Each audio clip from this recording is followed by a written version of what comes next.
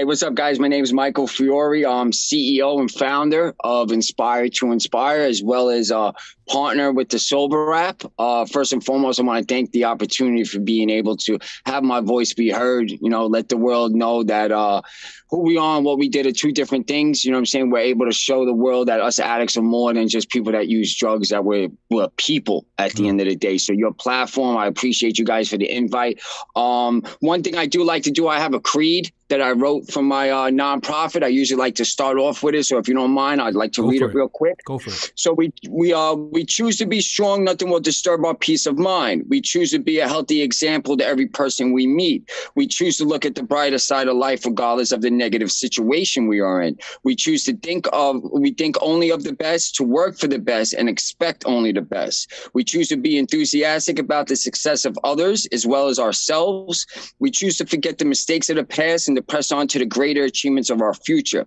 We choose to wear a kind face at all times and give every living creature we meet a smile. We choose to give ourselves time to the improvement of ourselves and not time to waste on criticizing others. We choose to be noble, to be too large for worry, to be greater than anger, to be stronger than fear, and to be resilient against the presence of trouble. This is what I choose. Nice. And I use the word choose in there a lot because everything in life is choice, right? You know, the choices we make dictate the lives we live, to quote Shakespeare. But um, as far as my qualifications go, um, I don't really talk about my past as far as the war story. I lost game over. Mm-hmm. Um, I don't glorify it. The past is there for a reason. It's very valuable. It's abstract. It's a blueprint to be successful in the future. So I refer to it. I don't live in it. Mm-hmm. But um, my father was a heroin addict. He shared needles, got HIV, died of AIDS in 09. He, uh, my mother contracted the virus from him. Um, because of that and multiple cancers that she beat, she wound up becoming an addict herself through, you know, medic, um, pills and what have not have you. My choice of drug is opiate and cocaine. Um, I'm actually still living in a treatment facility at the moment. Where, where, where are you from? I'm from Brooklyn, Brooklyn, you, New York. All right, all right yeah, yeah. I tell you, the accent might give it away. But um, I'm also 38. You know, I was on methadone for about 12 years. I just detoxed off it. I was high as 140 milligrams. If you guys don't know what methadone is, I'll give you the street term for it. They call it liquid handcuffs. Yeah. Um, let me, let me ask you, get, something. Can you yeah. explain? Can you explain what a blind detox is? So a blind detox, basically, every morning you wake up, you go to the, the medical staff, they're giving you the methadone, but they're not telling you how they're decreasing your dose. Mm-hmm. So every time you go to the window, you don't know how much you're being brought down. You don't know what the number of your dose is. They do that to mess with the psyche, mm-hmm. you know, of, of the mind and everything. But when you're off, they mix it with placebo. So when you're actually off, they don't tell you for another two weeks. So you've been getting placebo for two weeks. So when they do tell you, you, you the withdrawals start happening, but you don't realize it's mind over matter at that point because you've been off for two weeks already. Mm-hmm. So where was the sneezing? Where was the yawning? Where was the body aches then? It, it just shows you to come how powerful our mind is mm-hmm. and how we are actually victim to our own brain. Now, you know me, what I'm saying? Let me ask you something. Did you exp- did you experience that? Yes, one hundred percent. Yeah. I mean, I went I went four months without sleep for, when I say no sleep, uh, if you're an addict, you know what I'm talking about. You know when you're going through your little withdrawal, you don't know mm. if you're mm. sleeping five minutes or five hours. Mm. You get up off the bed, you go to the couch, from the couch to the floor, from the floor to the chair. You know, it was those sleeps, and the anxiety was due to. Um, I just made six months on the third of um Congrats, of May. Man. Congrats. Thank man. you. Congrats. Thank you. So uh, six months off of the methadone. Last time I used to get high was June 12th, the day before I came into uh, treatment. You know, we all go for that last hoorah before we go into treatment but yeah, so um, I guess as far as the the the drug use goes, listen, I did everybody what everybody else did. We robbed from people that we didn't want to rob. We we schemed. You know, the, one of the things I learned while being in treatment and you know losing my mother on Thanksgiving after just being drug free for three weeks is that our addiction is nothing more than a trickster. It's a magician, right? And what I mean is when you go to a, a circus or whatever, and there's a magic trick, like I know there's two people in the box. You're not sawing one person in half. Mm. So therefore, that trick has no more value to me. What I realize is that I understand how my addiction speaks to me in my own voice, mostly through journaling. Like mm. I'm a big, big advocate for journaling, anger journal, personal journal, gratitude journal. So when I wake up and I don't feel like I have anything to be grateful for, I go to my gratitude journal and I go back a few days and I read it. When I wake up or I had dealing with something that might have got me angry in the moment, I go to my anger journal and I see, you know what, it's not that deep. Look how much I've already been through. Mm. You know what I'm saying? Like the journaling for me was so important because for me, honesty was the only way that I'm I'm starting to really have success in recovery. Mm. And the easiest way to get honest, it's not that easy to get honest with somebody else, but it is honest to write it down. Yeah. Because you're by yourself. You know, you know, the judgment, the fear of judgment, all that kind of stuff. You know, especially early in recovery where we doubt ourselves. Mm-hmm. You know what I'm saying?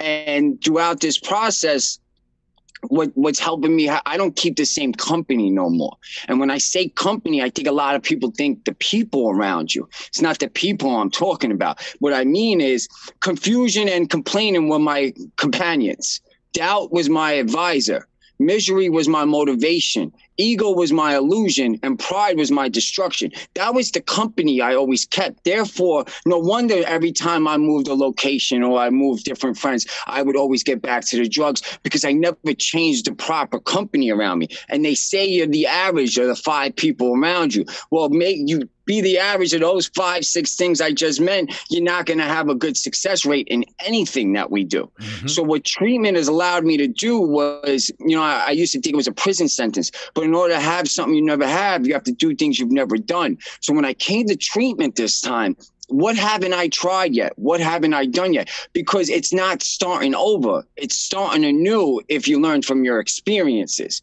And you only have to get something right once. Everything else before it was progress. So like I started looking back and change is inevitable. There's certain things that are inevitable that we can't change. So I don't try to change them. I try to manipulate them because I'm a massive manipulator. I'm an addict. We're great at that shit. so I try to manipulate the inevitable or better word, influence the inevitable to have you know some kind of success with it. So change is inevitable. It's the only thing that's permanent in life. So instead of changing the past, I made it building for the future. It what, sounds sexy. It's easier you, to do. What made you make that change though? What made you to come to the conclusion that you say, you know what, enough's enough.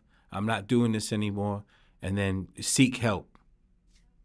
Um, I, I I wanted to do more than just exist in this world. I wanted to be alive. I wanted to live. Uh, my where, mother was dying. Where were you living at, at, the time? Like I was. I mean, I was a drug addict, so I, I wasn't self sufficient. I, I, was a 36 year old man child. I was living with my mother. You mm-hmm. know what I'm mm-hmm. saying? Like I couldn't pay rent. I couldn't pay bills. You know, I was. I was that. I was that type of addict, and it, it, I was okay with it you know and that's the that's the sickness of this disease that we get so easily accustomed to like negative shit. And it just shows you how resilient though we are as human beings because we're able to withstand everything. Because this life is a lot easier to live not easy easier to live than the active life of using I mean, just thinking about waking up and not having money and having to go get money for drugs, and it's exhausting to even think about. But what really I'm a firm believer. Like, listen, I believe in God. I know some of us don't. So, spirituality is the, a necessity for longevity and recovery. Necessity.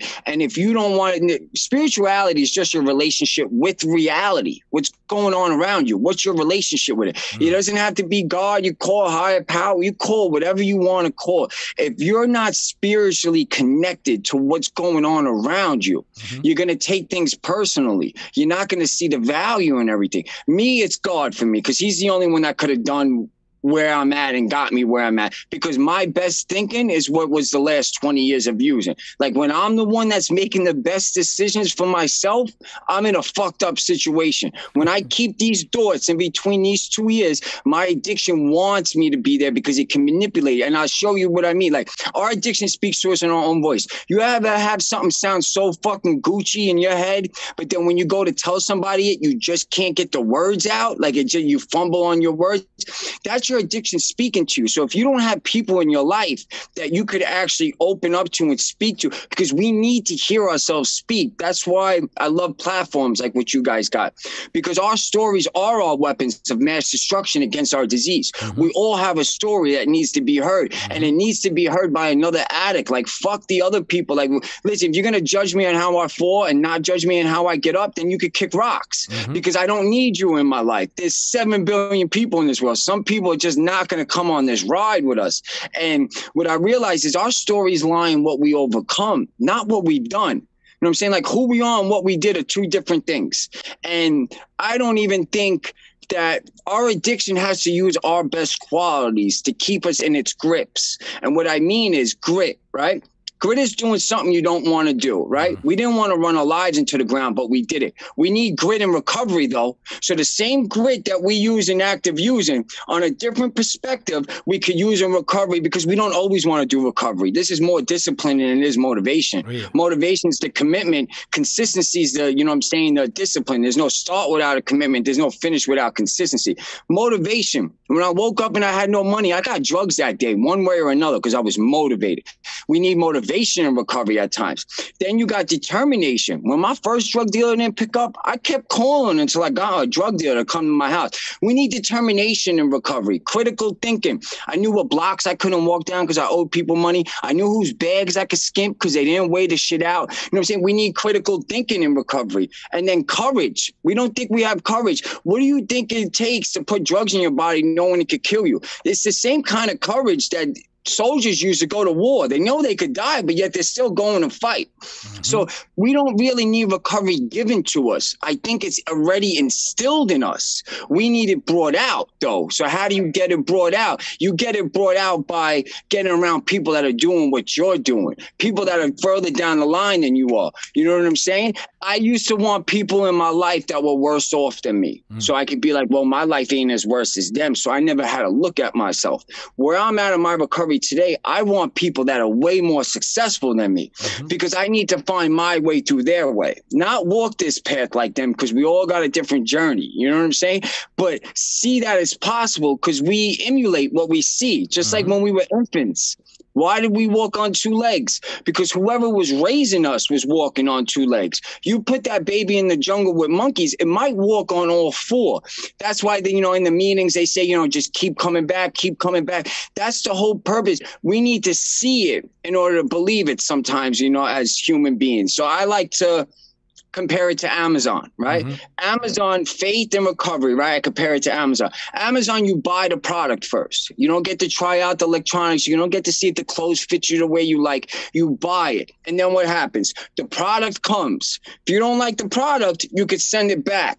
Recovery and faith are the same thing. You have to buy into it 1st mm-hmm. When you buy into it, it starts to give you the product. If you don't like the product, them streets ain't going nowhere. Them drugs ain't going nowhere. The misery ain't going nowhere. The chaos ain't going nowhere. you could go right back to it. So you have to buy into these things. Otherwise, you'll never get the product that you want. But then again, you never know like trying, fuck trying. I don't try to do shit. I'm just doing shit mm-hmm. today. I didn't try to get drugs. Mm-hmm. You know what I'm saying? I got my drugs. So it, we have everything we need just on a different perspective because I can is a prison that you'll always live in. The more you say I can't, the more you meditate on the word I can't, the more that you repeat a thought, the more it becomes a belief. Mm-hmm. The more you say I can, that's your passport to success. Even if you don't believe it, keep saying it because it does manifest. And then you start seeing things around you change because the first step is the admittance. Mm-hmm. I got a fucking problem. Surrender. Surrender ain't giving up. Surrender is giving you a chance to fight, in my opinion. Definitely, man. And I, I want to get into uh, something that you was talking about before we started recording, which was okay. like, uh, what are you doing while in treatment? What is what what what things are happening outside of treatment while you're in treatment? While I've been in treatment, um, I started. Uh, I turned my mess into a message, basically, right? Um, I started my own company, nonprofit, fully incorporated, called Inspire to Inspire. Why the name Inspire to Inspire? We all have something within inside of us that could help someone else on their journey. I'm a man of faith, right? So God created every single one of us with the ability to help somebody else. That's what we're here for, to help somebody else. So the more people I'm already inspired to inspire you. So the more people I'm able to inspire to help somebody else, the more people they help, and the more people they help, and then the more people then they can help me on my journey. Hmm. So inspire and inspire, one of the many things it is, is that we all have something inside potential. We all have potential, but potential means we haven't done anything yet. Potential could be dangerous. Hmm. You know what I'm saying? Like just because you have the potential to do something doesn't mean it's going to come into fruition if you don't put the work into it. You know what I'm saying? I always knew I had potential. You know what I'm saying? And that potential would make me you know, like my ego and pride are always, you know, those were two of my biggest downfalls, right? Ego would make me like my my main struggle, why why I really led to drugs. I was easily liked as a child, right? So perception, right? Perception was my first high. You know what I'm saying? How people perceive me, people like me. That was my high. I was popular. So as I got older, I wanted everyone to be my friend. But there's a quote a friend of everyone is a friend of nobody. You can't be everybody's friend. In order to be everyone's friend, I had to manipulate and lie mm-hmm. and become whatever it was I thought you liked. You know what I'm saying? If you thought I had something, I didn't have it, I was cool with it. If you thought I did something, I didn't do it, I was cool with it. Because what you thought about me was more important than what I thought about myself. Because I seen value in everything else but myself. So therefore, I had to be better at whatever it was that you were good at because I seen that people liked you. So what happened in that process was I looked in the mirror one day and I didn't know who I was looking at. Like I, I was just like I remember the date clearly. I stopped looking in the mirror for like a year. So the ego, what the ego allowed me to do was be okay with you knowing things about me that weren't true. As long as you thought about it, I was cool with it. So the drugs allowed the ego to come into fruition. Pride would come in and be like, listen, don't worry about it. You know what I'm saying? You get off drugs, whatever you want. Don't worry about it. You're not an addict. You know what I'm saying? So the drugs really led me to always be fighting the man in the mirror and the man within. So I was at peace with my addiction and at war with the world. Recovery, I'm at peace with the world and I'm at war with my addiction. You know what I'm saying? Like I'm the predator in my recovery. I'm not prey to my addiction. I meet myself at the doors. I don't wish for triggers not to come. I don't wish for cravings not to come because by wishing for that and they come, we feel like we're losing. Triggers and cravings means we're winning mm. because the resistance only comes when you're doing something good in your life. When I was a full blown drug addict, living in a car underneath the bridge, I had no resistance because I was I was living the life the devil wanted me to live. Once the thought would come in my head to clean my life up, that's when the resistance came. Fixed mindset. I'm too old to do this. Uh, I, I've never done it right before. What's the, who cares? Nobody cares anyway.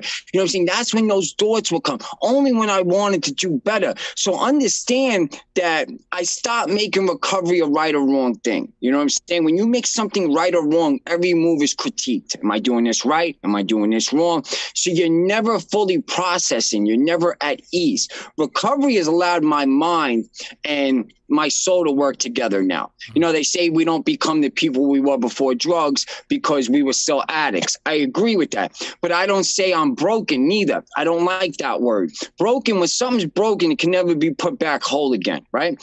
recovery's allowed me to become whole again. And what I mean is, I don't need to be fixed. I needed healing. You know, mm-hmm. so I'm not broken. I needed healing, uh, anxiety, depression, all those things. You need healing from that. You can't fix those things.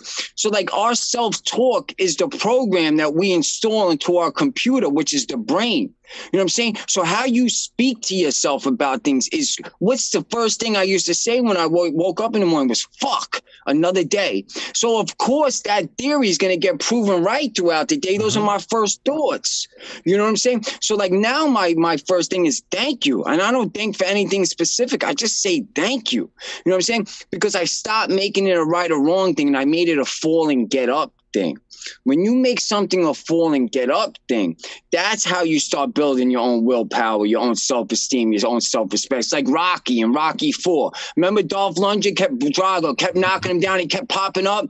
Drago got discouraged because he couldn't knock him out. When you keep popping back up, you start making your addiction discouraged. You know what I'm saying? Because now he knows he can't get you. Mm-hmm. But when you keep popping back up, what happens is you start falling forward in life. It's like walking uphill, right? Life, recovery, it's an uphill fight. We're always going to be going up, right? But when you're walking uphill, you should be leaning forward when you're walking. So when you trip, you fall forward. Me trying to make life easy was me trying to take life and go downhill with it. And by when you go downhill and trip, what happens? You fall, you break your ass, you roll over, and you keep going. Yeah, so just, just like Jack and Jill. Jack and Jill, 100%. so what I mean by fall forward is when you make a mistake, you find the lesson, you see the blessing, you move on from it because life is a test. We all know mm-hmm. this, right? But life's a test on how bad you want the things you say you want. But life is not like a test in school, though. You don't get the lesson and then the test in life. You get the test and then the lesson. So life is more like a pop quiz. Pop quiz, you're not supposed to pass. Pop quiz is so to show you what you need to work on for that semester yeah. where you are weak. So mm-hmm. we're getting upset that we're not passing these pop quizzes when the, the success is learning the lesson after failing the test. Mm-hmm. You know what I'm saying? This is where my perspective comes in. Everything is related. There's no such thing as failure to me because even if I don't succeed at what I'm doing, there's something I can learn and what happen that can make me go. Because love and hate it's the same passion just on a different perspective. That's why they say you could love to hate and you could hate to love. That's why some people could love this and some people could hate the same thing you love. It's a different it's just on a different it's the same passion just on a different perspective. But if you hate yourself you hate the world. Mm-hmm. if you love yourself you love the world. Loving yourself is difficult. I get it it means that we're willing to make a commitment to ourselves. Mm-hmm. And it's scary to think that we're the ones that are going to get us out of the darkness. You know what I'm saying? I get it because the darkness gets real comfortable. But then when you go to the light and you turn that light on, you got to look at your darkness and there's a lot there. So a lot of us turn that light back off because we don't feel like we have it in us to face it. You know what I'm mm-hmm. saying? But the more you give up on yourself, like you don't want to, you don't want to get to your deathbed and look back and all these dreams that you have or we have or things that we could do, they're not dreams. They're God telling us what we're capable of doing. You know what I'm saying? But he's showing us it. He's not going to give us it. Like I used to get upset with God and I stopped talking to him for a while. I didn't feel like I was worthy enough to speak to God because I always said them foxhole prayers. You know, only when I was down and out and I needed some, I, I talked to God, God, please get me out of this situation. I promise you I'll stop doing drugs. As soon as I get out of the situation, I'm already going to the next cop. So I didn't feel like I was worthy enough to speak to God for a while. And but if we don't pray, how does he answer our prayers? So what I realize is when I ask God for certain things like wisdom, guidance, courage, and strength, and this will wrap into the inspired and inspire, he don't snap his fingers. He's going to put me through tests that's going to build the wisdom, the guidance, the courage, and the strength. I know this now. So now when I'm going through these tests, I'm even more grateful for what he's putting me through because whatever he's putting me through is actually making me a better person. Him taking my mother was a blessing. And when I say that, people look at me like I'm crazy. You know what I'm saying? She was 68 pounds. Her quality of life was not that becoming. And I don't like Mother's Day's coming. Why I don't get high over my mother's death is one, it won't bring her back. She's dead. It's, you know what I'm saying? Two, what it will bring back are feelings that have been dormant. That beast that's inside of me that's been dormant, that much, excuse the language, he's going to come alive.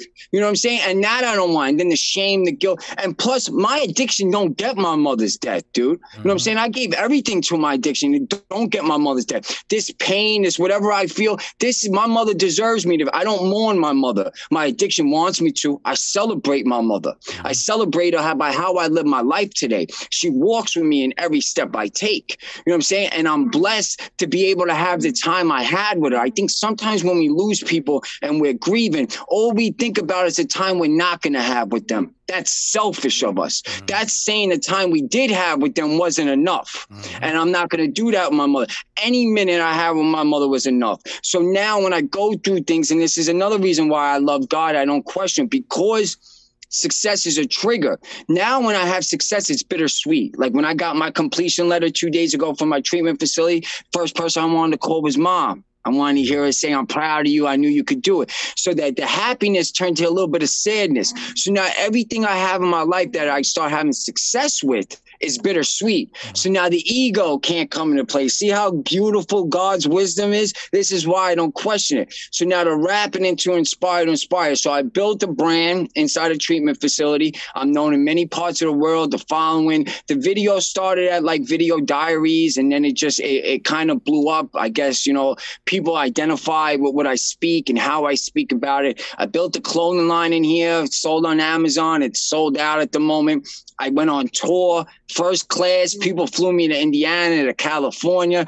spoke in uh, several facilities, high schools, jails, prisons. you Did, I'm moving doing this, all, and you did this, and then you still chose to to get into treatment.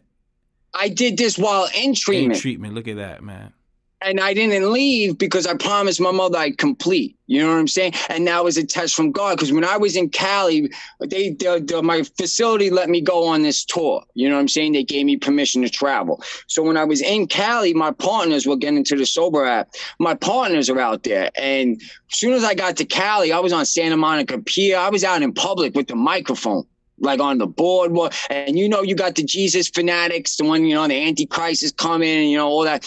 I was there speaking on addiction. This is the day before the Super Bowl. I was in LA on the mic speaking about addiction because it was a little discouraging because I'm used to being invited to places and people wanting to hear me speak. Now in public, you got people heckling you. And I had to move my location a few times because people were yelling at me. They didn't want to hear what I had to talk about. And I was getting discouraged. And in that moment is where the growth comes, that discomfort. When you're in that moment is your greatest moment to break out of. And in that moment, I was like, you know what? I'm not waking up tomorrow and saying, you know what? I should have just did what I set my mind out to do that day. So I got that microphone and I spoke. And even though I felt discouraged, I said my message, I said what I had to say, and I kept it moving. And in those moments, are the are our greatest moments and i think we give up on ourselves too much because pain is a tool you know, like how do you how does a plant grow? You water it and it blossoms, right? Plants start growing from where? From underneath ground. We have to start growing from within inside of us. And the only thing that helps us blossom is pain. We have to go through pain. We have to go through these things because if it was happiness, without sadness, it wouldn't be happiness. Mm-hmm. It, it, would just be whatever it was. Happiness is what it is because there's sadness in this world. You know what I'm saying? God allows the opportunity of evil because we live on earth. We don't live in heaven. Mm-hmm. You know what I'm saying? That's what heaven is for. But for us, we get moments of joy. And why hard times last harder is because we get high on them. We don't ever give ourselves the opportunity to see what joy's always around the corner always around the corner. All we have to do is just not pick up. But it's we we need we want it now. Why I used to fail I wouldn't give up what I wanted now in the moment for what I must have tomorrow. What I must have tomorrow wasn't important than the drug in the moment. That's why I didn't succeed. You know, what I'm like, and that's where things have changed. Like, I'm willing to give up things in the moment for what I want tomorrow because today is the only thing that has any kind of value. If you today's called today, it's not called yesterday, it's not called tomorrow. Yeah. What you take from yesterday and today is your choice. Yeah. It's your choice it, at the end. They call it a, a, a present, uh, the gift, because it's, it's yes. a present. Yeah, the so, yesterday's mystery, tomorrow's mystery, today's the gift. That's why they call it the present. So, what do you got in store from like, like after you get out of treatment? Okay. So uh, me and my partners, we have a house in California. I have about 45 facilities lined up in California to speak at. Uh, we're going to do some travel. We have an app called the Sober app. So what we did was we brought the amenities that all us addicts need into one place. PDF book, audio books, podcasts, motivational speakers, life coach, recovery coach, meditation, meal prep and yoga, community, tracking, virtual events. We went to people that had established platforms. And this is why recovery is such such a great thing. When you're in recovery, you're so willing to give what you got unconditionally. So what we did was get people with established platforms and just brought them to the app because there's a lot of people in this world that can't say they're an addict because of their job or their family. There's a lot of people in this world that live in small towns in Scotland that don't have NA and AA and support. So what we did was able to bring recovery to these type of people. But at the same time, we do something called Sober Uncovered, where we tell people stories and people get to tell their stories. So it, it's still like in the early couple months, but you know what I'm saying? We're getting a lot of download, we're getting a lot of good feedback. So basically, where recovery to me is a lifestyle, it's a mind, uh, you know, it's a lifestyle, it's a mindset. It's really not the absence of drugs, you know what I'm saying? Because I know people in recovery that their lives are still unmanageable. You know, they just took the drug out. They didn't work on themselves. They can't keep a relationship. They can't keep a job. These are all tendencies of an addict. You know what I'm saying? Or sometimes we'll substitute. We'll go to something else because we're not doing our drug of choice. So what I realized, the opposite of addiction is connections. Mm-hmm. It's not recovery. Mm-hmm. It's not sobriety. It's not. It's not what you know. It's who you know in life. Because mm-hmm. we all know how to do this shit. Mm-hmm. We all know how to do it, but you have to get with people that are doing it so you could do it with them. You know what I'm mm-hmm. saying? So, like, one of the main things we wanted to do with the app was bring connections. Mm-hmm. Like, my dream is to become a motivational speaker. I want to speak all over the world and translate in different languages, sell out arenas, sell out mass. That's my dream. Mm-hmm. So that's that's what I'm going for. Because if you set limits, limits will present themselves. Mm-hmm. I don't set limits no more. The sky ain't even the limit. You know what I'm saying? Like hey, I'm going way beyond it. When they teach you to punch, they teach you to punch through your uh, opponent. They don't tell you to punch and stop on impact. So why would you stop on anything? Fight through everything because if you're stopping on impact, you're not gonna. you Maybe you get the physical clean, maybe you get the emotional clean. But if you don't go through it and get your spirituality, you're not going to have longevity in this. Mm-hmm. And what what do you think is one way to like seek? Like I, I just say because I, I, get I, I get interested. We all believe in multiple pathways, and, and we respect yes. we respect multiple pathways. But there's some people that uh, are set in their ways, and they'll say, "No, this is the only way to do it." Um, and th- there's no other other way. What like what would you say to people that are like closed minded like that? Well, see, people like that are like a, a fixed mindset, right? So when you have a fixed mindset, you're always going to look to prove that what you know is the only right way, right? Mm-hmm. The only way that I, the best gift I gave myself was open mindedness. The fact that I could be wrong is a huge tool because the fact that I know that I could be wrong, I could learn more. Like a growth mindset's a passion for learning, right? Like knowledge will limit us. If you don't have imagination, whatever we know will limit us. Knowledge without imagination is like, look, I'll give you the Wright brothers. If they went on the knowledge of the world, they would have never built an airplane. But their imagination made them see that they could build an airplane. They built an airplane, and now we have jets today. You know what I'm saying? Imagination is is needed for innovation. Your knowledge, my knowledge as an active user, could never ever allow me to see the, the benefits of sobriety. If my life sucked on drugs, it's going to suck without drugs because that was my knowledge at that moment. You know what I'm saying? My imagination started coming because I started seeing people in recovery. I started seeing their lives better. I started seeing the glow. So my advice to those people is knowledge is good, but knowledge without imagination will limit you. You will get stagnant eventually. You will get bored. You will stop growing. You know what I'm saying? You should always be looking to expand your attention. Attention mm-hmm. and focus are two different things. Attention is what's going on around us at all times. Focus is what the conscious mind is focused on. You know what I'm saying? We shouldn't be focusing on things too much. We should be focusing on the attention. We should have more attention. What I mean is the cravings and triggers. Don't focus on your trigger and specific craving.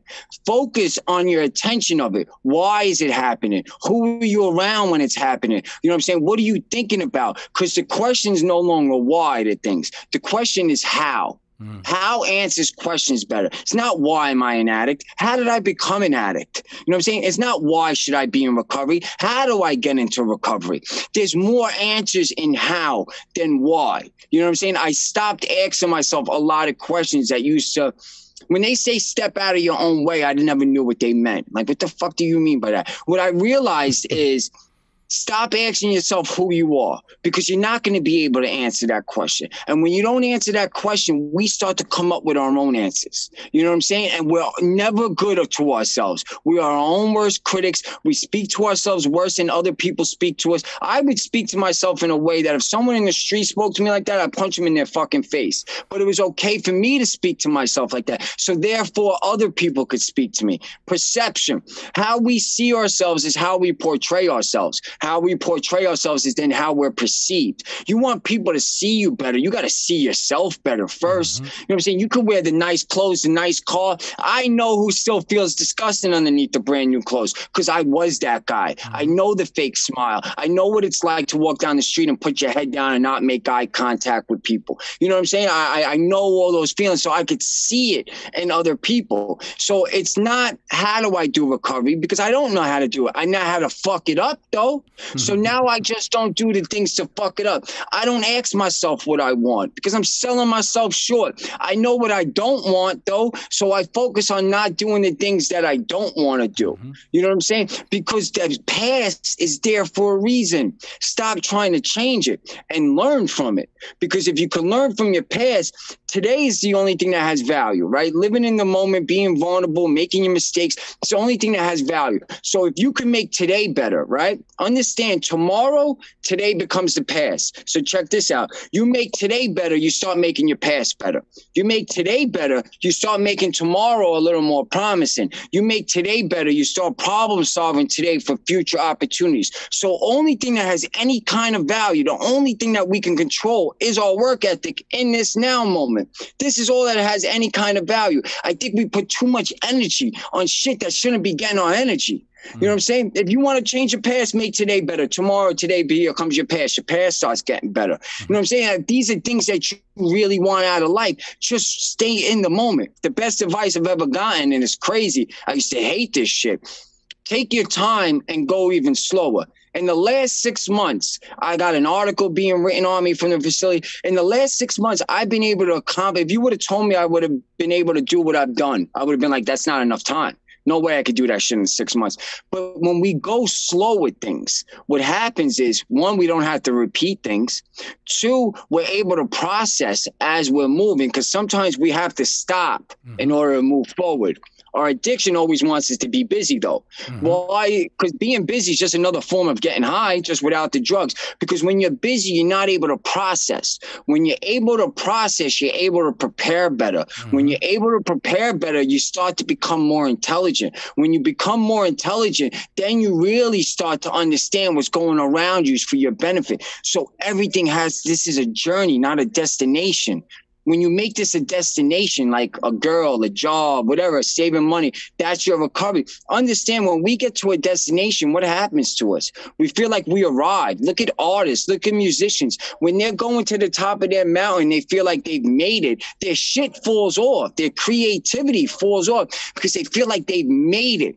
Recovery can never be a destination, it has to be a journey because if you make it a destination, you feel like you arrived, you lost. Mm-hmm. Your addiction got you right right where it wants you. But if you make it a journey, you'll be kind to yourself because that's what love is. Love is patient and love is kind. Mm-hmm. Love is not attachments. Love is not materialistic shit. You know what I'm saying? Love is patient and love is kind for yourself. Be patient with your success. Mm-hmm. Be patient with your mistakes. Learn from your mistake. Be kind to yourself. Talk to yourself nice because my identity used to be attached to things outside of myself money, job, girl, whatever it was, right? When you make your identity attached to things outside of you that you could lose out of your control, what happens when you lose them? You lose your identity and then you're fucked, excuse the language. So my identity, my recovery identity is not the amount of days I have clean because those mean nothing. The only people with more clean time than me are people that woke up before me today. You know what I'm saying? Because today's the only thing that has, because if you make your recovery identities, those amount of days clean, say you relapse, you're not going to be able to make those days up in one night. Mm-hmm. And if you can't make those days up in one night, what are you going to do? You're not going to get back on that horse. You, I, and every other addict out there knows that. We're going to say, fuck it. And that's what we're great at. So say fuck it to the other things. Say fuck it. Yes, I'm going to save my life today. Say fuck it. Yes, I'm worth it today. If you're going to say fuck it, say it, but say it in a way that's going to motivate you, not a way that's going to make you regress. Mm-hmm. like a po- like a, in a positive way, definitely. Yes. Yeah, man, definitely. Uh, I I would always say that uh, uh, temptation never takes vacation, Mm. and, and it, there's always an invitation. oh, You know what I'm saying? I like that. and, and I always say you, you we need to always be prepared with stuff like that. And connection is the key, man. Like we're always we were always connected to something, right? But it was never nothing positive, so we weren't getting no current energy, that correct energy we needed. So as I, I've I've seen it, and I speak I speak for myself, and you know, and I see others as well. When they get a recovery, they allow themselves to um, they allow themselves to be given things. You Mm. know what I'm saying? Like I, I've been allowed for great opportunities, but if I wasn't here, presented myself for those opportunities, those opportunities will be it'll be gone, man. You know what I'm saying? They'll, they'll they'll roll right by, and I'll be like, "Ooh, get out the way." But I wanted them. I was there, and you're right with the whole. If you don't, eh, you we don't process things and that when we're in our addiction we don't we don't care to process things right but the minute we get into recovery things start overwhelming us too. You know what i'm saying? Because Mhm. we start noticing things. It's like oh we didn't i didn't notice that before.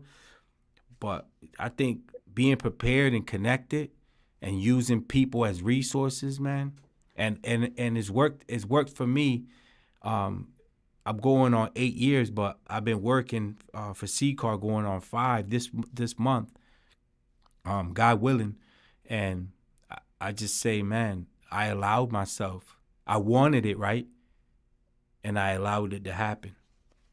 Yeah. So One hundred percent, and and the the lost opportunities, so called lost opportunities in the past. The opportunity was losing those opportunities. They're not, you know what I'm saying? Like I look back now, all those lost opportunities. God hears and sees things that we don't hear and sees things we don't see. So when something's removed out of your life, you should be thanking Him, not cursing Him. mhm. You know what I'm saying? Mhm. Because he he's maybe there's someone in your life that's gonna hold you back. Like my loyalty has an expiration date. Like, and I don't mean to sound horrible. If you're not moving the way I'm moving, my energy, I'm real protective of it. I don't get in certain conversations. I don't watch television because that shit'll fuck your head up. You know what I'm saying? But that's just me. That's just my personal recovery. But like I'll always leave the door open for you to come back in my life because people allowed me back in their life. Mm. So that would make me a hypocrite not to do that. Mm. But you have to show me that your energy has changed, just like I had to show people my energy changed for them to come in my life. But when you get protective of your energy, you start to appreciate your energy. That's why they say you got to give it to keep it. When you give something that you've earned to somebody else, you appreciate the journey it took you to get there Mhm. and then you get to see your hard work come into fruition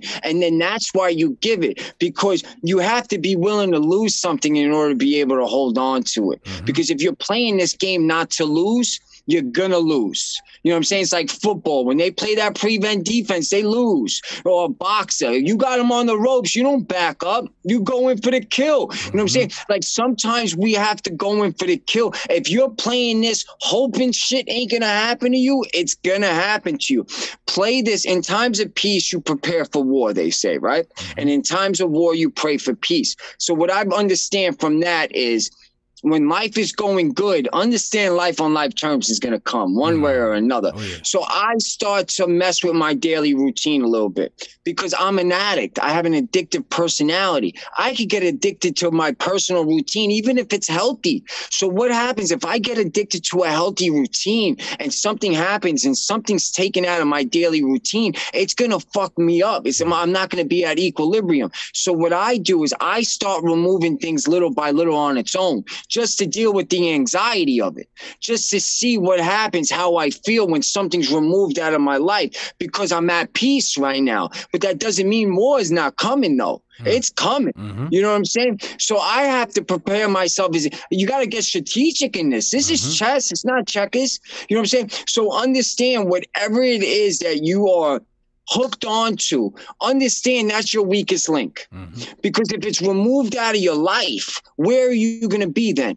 You know what I'm saying? Like, like, like I said before, who we are and what we do are two different things. You could be a doctor for your profession. That doesn't make you who you are. You know what I'm saying? Like we've done drugs does not make us pieces of shit everyone out there is fucked up, man. Everyone has something that they're dealing with. Yeah. You know what I'm saying? So what, what, where I'm getting is who we are should make us better at what we do. Mm-hmm. Not what we do make us who we are. Mm-hmm. You know what I'm saying? Because whatever happened to me in these last 20 years is the reason I am the person I am today. It's the reason why I love myself today. It's the reason why I'm able to reach so many people with my words because I had to live the life you can't say I understand what you're talking about if you didn't live this life, and you're not going to be able to fool an addict. Mm-hmm. We know we know, you know what I'm saying? Just by the how you speak and what you speak on and how deep you get in with the darkness. So like I appreciate everything. Like people's words can't hurt me. My reaction to them words is what hurts. So like I'm starting to realize all the power that's inside of me.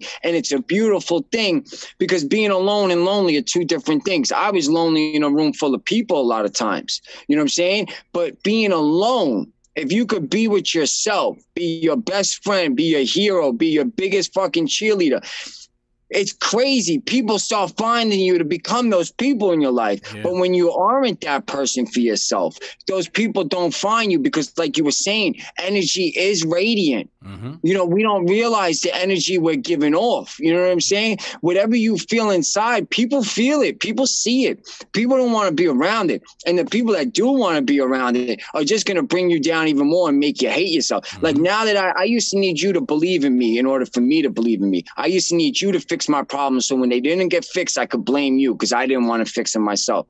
Now that I believe in myself and my dream and my vision, I, God is putting people in my path, left and right, to move me along on my path.